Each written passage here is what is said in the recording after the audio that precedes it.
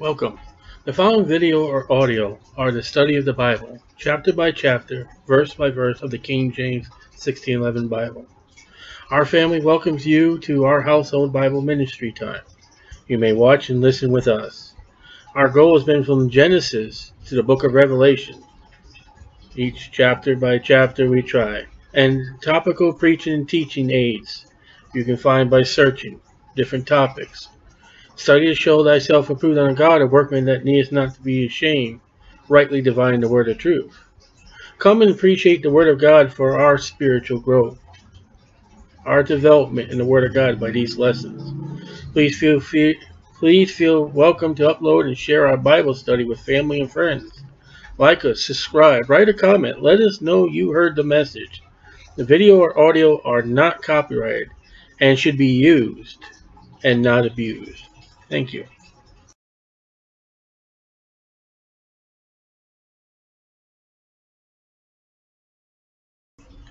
Galatians chapter 1 Paul, an apostle, not of men, neither by man, but by Jesus Christ and God the Father. All right, let's stop right there for a minute. Apostle. There are three qualifications for apostle. Now, this is got to be. This is very important because there's religions out there who claim to be apostles. You had to see the Jesus alive. You had to, when he was a man on this earth. You had to have been baptized at John's baptism. And then you had to see the resurrected Christ. So, Paul to say he's an apostle not by men but by God Jesus Christ. Tells us he was baptized at John's baptism. He's seen Jesus through the Gospels. And we know he saw the resurrected Christ on the road to Damascus. Who raised him from the dead? Who? God. Raised Jesus Christ. Again, the resurrection makes us Christians. That is where religion lies. Religion lies at the cross. Christianity is at the empty tomb. Both were by Scripture. But you can't have the cross without the resurrection for salvation. And all the brethren which are with me, so there's multitude, many more than two, unto the churches, plural, of Galatia. So there are many churches that this epistle is going out to. Grace be to you, and peace from God the Father and from our Lord Jesus Christ, who gave himself for our sins. There you go. How can you say works done it after the passage like that? For God so loved the world that he gave. All right? If God gave, and this says Jesus Christ gave himself, well, guess who God and Jesus is? They're one and, they're one and the same. He might deliver us from this present evil world. And this world is evil. It's wicked.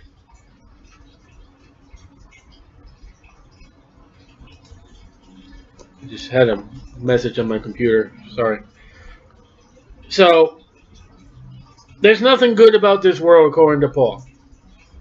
Jesus said, Marvel not the world hates you, know that it hated me first. We're, this world is just wicked, it's evil, and it's against God. All they that live godly in Christ Jesus shall suffer persecution. I know you get tired of me to hear me saying that scripture over and over, but it's true. You're not supposed to be friends with the world. We are in the world, but we're not of the world. No more.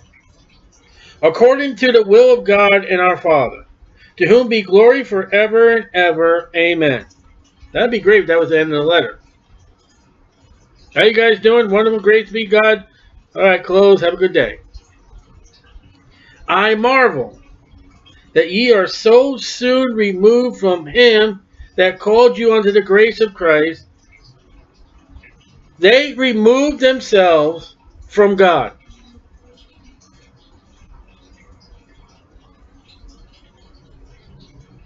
This church, starting right off, their standpoint is they stepped away from God.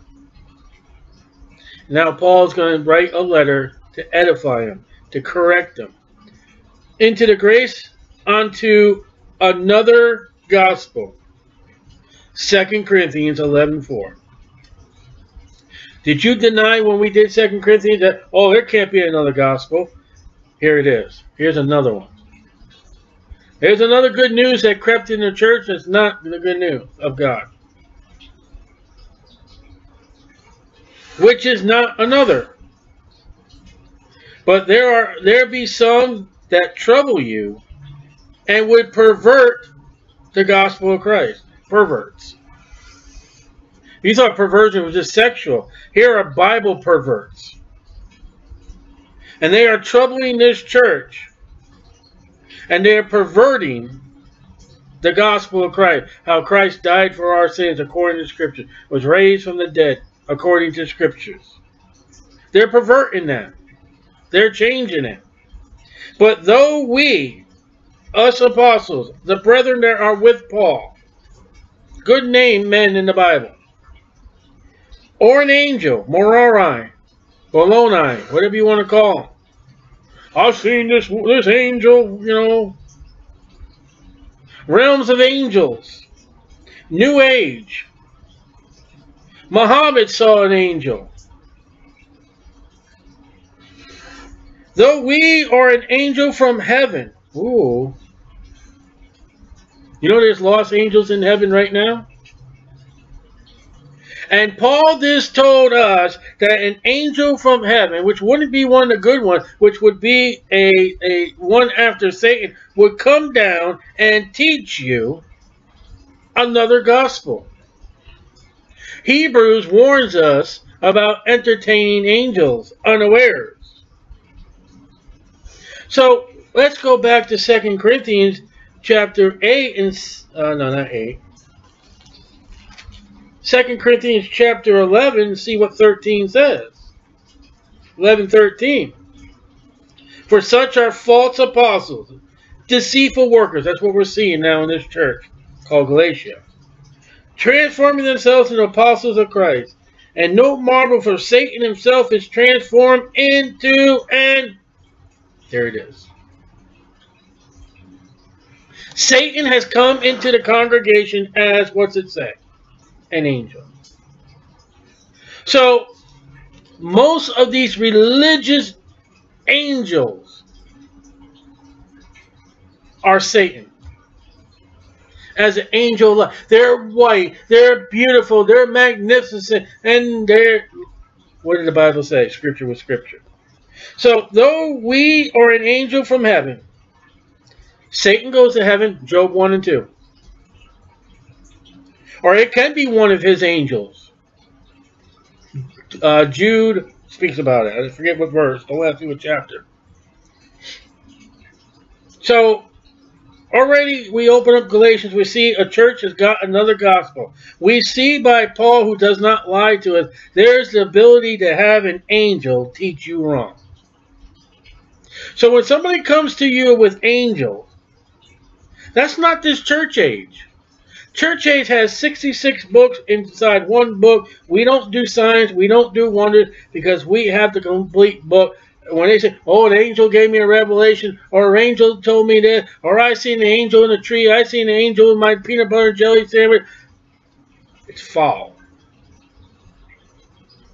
The angel came to Cornelius and he told Cornelius, go get Peter. An angel cannot preach the gospel because he does not know what is to be redeemed.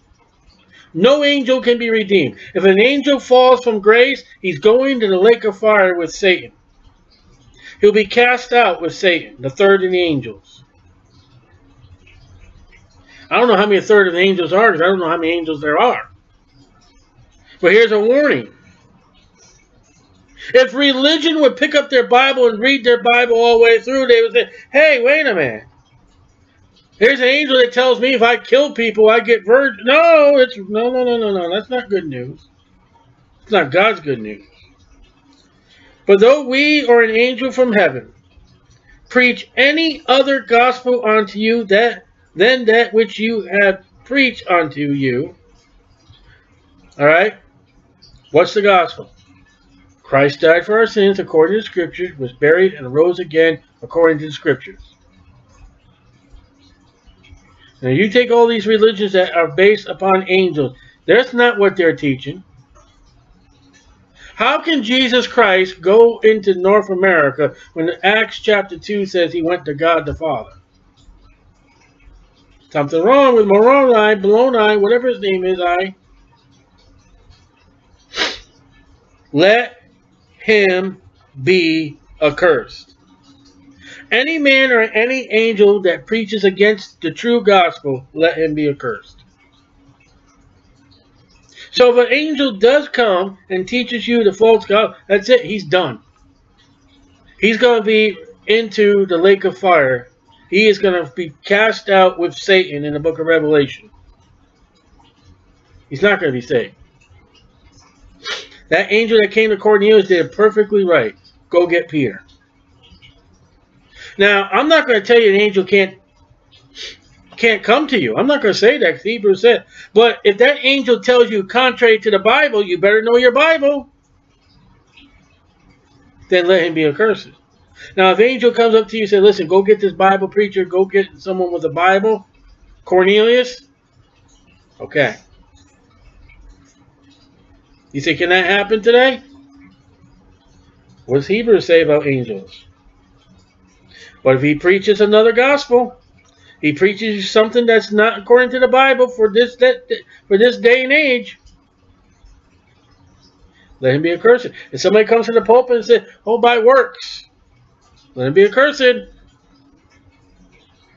Be baptized to be saved. Let him be accursed. That's not the gospel. Better know what the gospel is. As we said before. So this has been said over and over to Galatians. So say I now again. This is a repeat. If any man preach any other gospel unto you than that have than you have received, let him be accursed. Double, twice. Verily, verily.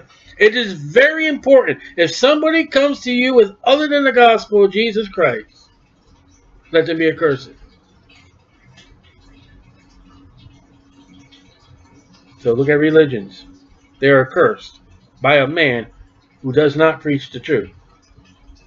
One church says you got to eat and drink Jesus Christ. That's not the gospel. That's not salvation, but God's way.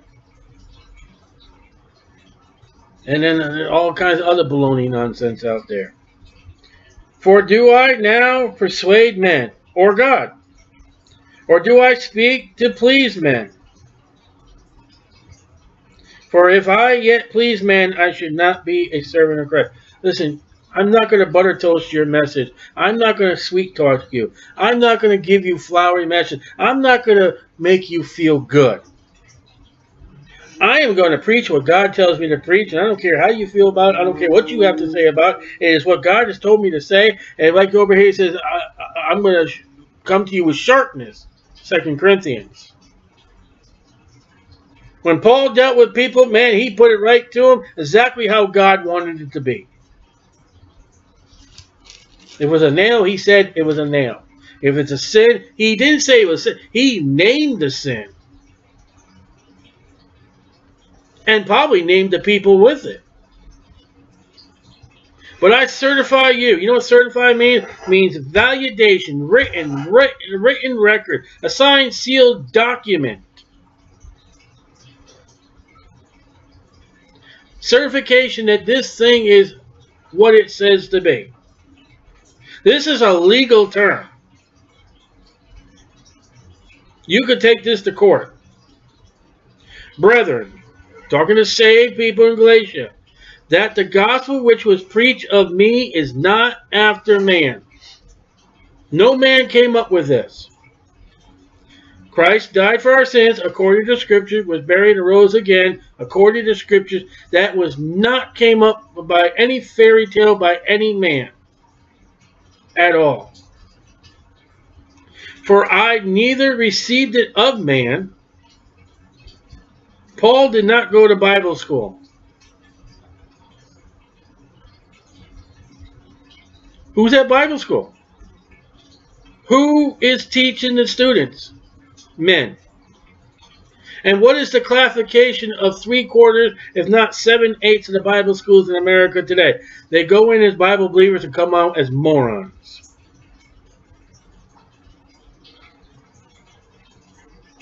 We, we went, a guy was going to Bible college came out and couldn't tell you what thrice meant.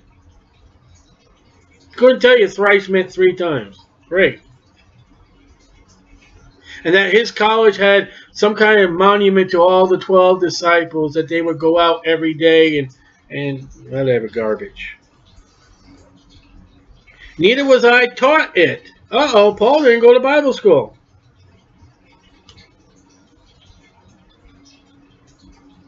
But by the revelation of Jesus Christ. So look where John and Paul is. They both write to seven churches. They both have the revelation of Jesus Christ.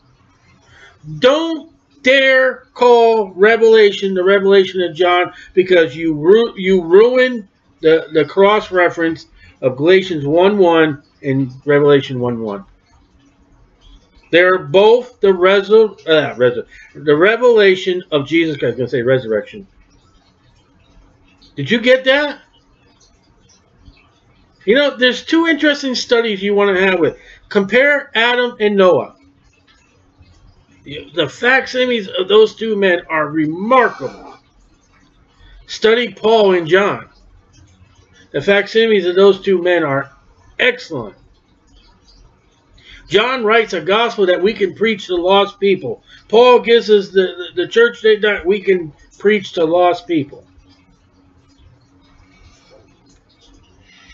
For ye have heard of my conversion in time past in the Jews' religion.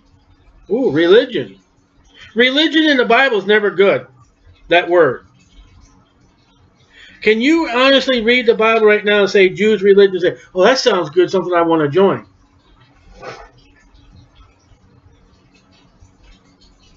And I think religion is two or three times. One place, James. So, my conversion, you've heard about it. I've told you about it. Telling your testimony how you got saved is, is the greatest tool you got. I, I don't know what to say to anybody. I, I, I, tell them how you got saved. And then let the Holy Spirit fill your mouth. Nothing wrong. Hey, you're saved. You know how to done it. Go for it.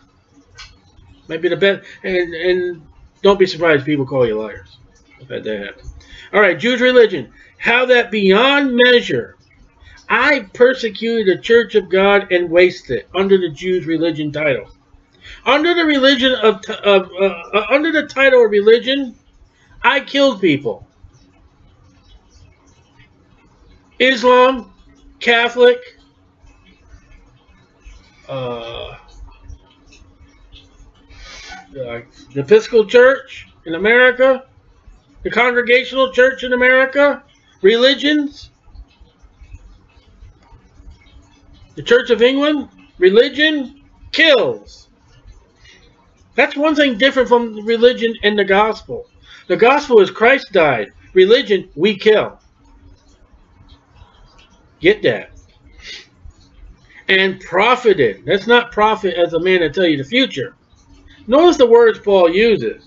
And profited in the Jews' religion above many my equals in my own nation. Oh boy, I, I, I made it to the top. Paul was ranked up there with the elders, the most important people of the religion. But being more exceedingly zealous for the of the traditions of my fathers, the law told Paul to kill people who blaspheme God. Problem is, what the people were doing was following God, and in the Messiah, they just were blind to it. But that's what the law said. Paul, before he got saved, was obeying the law completely, and he was killing people. In the name of the Jewish law.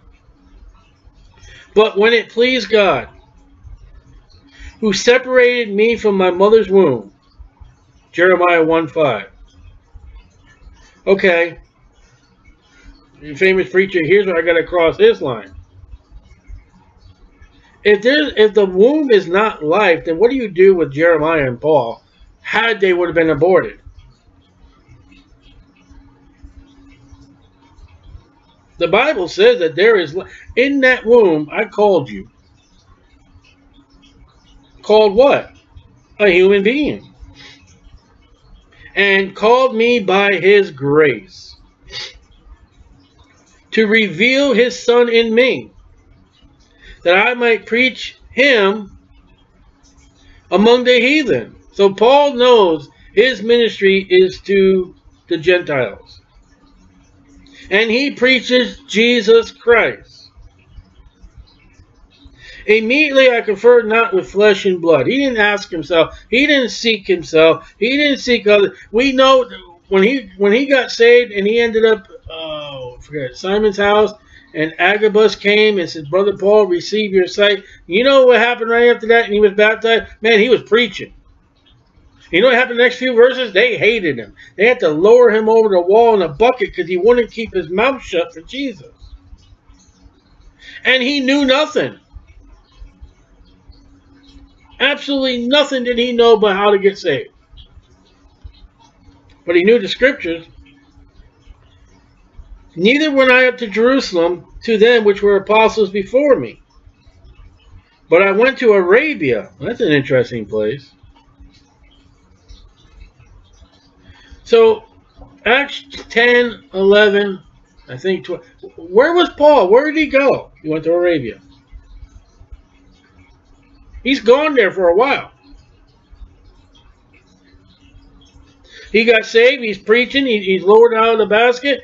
He goes before the and he's gone. And returned again unto Damascus. Then after three years I went up to Jerusalem to see Peter, and abode with him fifteen days. But other apostles saw I none, save James, the Lord's brother. So there's another James. James the son of Zebedee, and James the brother of. What do you do that with a cap as a Catholic? Mary had no other children. Well, they were they were together as a as a spiritual relationship, as a brother with brother. They were brethren. Okay? Look at verse 11. Read that one again. I certify you what? So don't you think Paul knew the difference between brethren and brother? Ah, gotta look at the words. Save James, the Lord's brother. Paul knew what brother was, and Paul knew what brethren were. So, shot that one down. Mary did have other children. Now, the things which I write unto you, right now, what we're studying, before Behold, before God I lie not. Ooh. So Galatians is not a fairy tale. Afterwards, so the testimony that he's told you, there's no lie. Afterwards I came unto the regions of Syria and Cilicia, and was unknown by face unto the churches of Judea which were in Christ. You remember that part where they, where they, I think it was, was it Barabbas had to bring him into the room because they feared him? And he told him, say, listen, this is Paul. He's converted, man. He's preaching Jesus Christ. Will you let him in? In book of Acts? But they had heard only that he which persecuted us in times past now preached the faith which one which, uh, which once he destroyed. Now go back to Acts chapter 9. He was going to meet with the disciples. Oh, no, this is Paul. He's the one going to kill us. I think it's Barabbas or Barnabas or there's another one. One of those disciples brought Paul in and said, hey, he's a Christian now.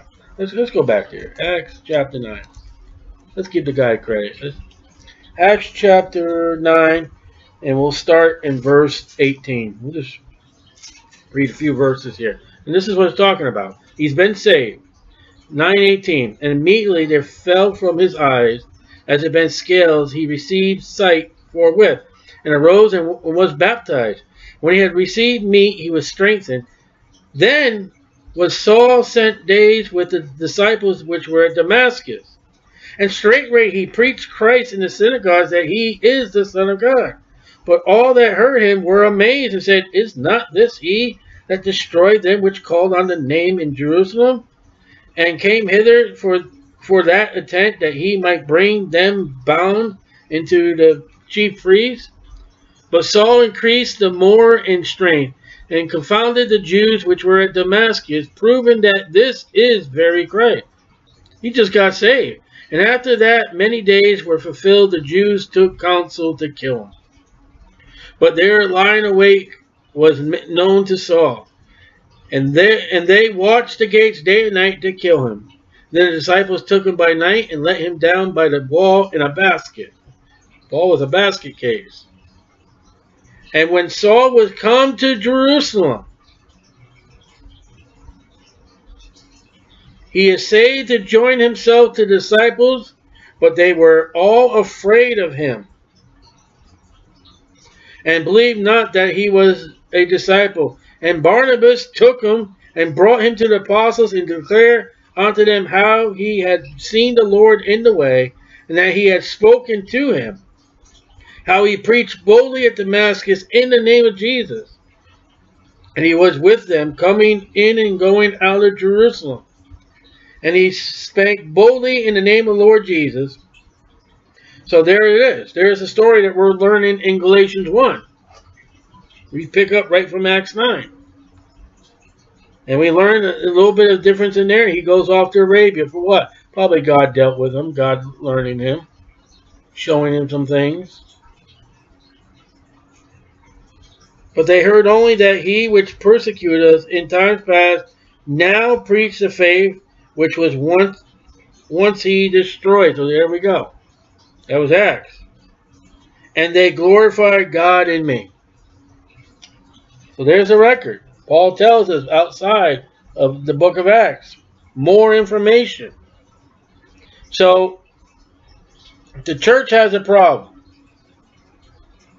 They've stepped away from God. There's a perverted gospel. Paul has a gospel, and he takes these verses 11 to 24 to tell you exactly where the gospel came from. It came from God, Jesus Christ himself. That's where the gospel came from. Revealed to Paul. And there's, uh, there's places you say, my gospel. And the fact is that Jesus Christ gave him that revelation. And he's got mysteries that God showed him that no one else knew. So these revelations that we'll learn about Paul that no one else knew about. Peter will say that Paul speaks hard, man. I have no idea. He's confusing me. They came from Jesus. Galatians chapter 1.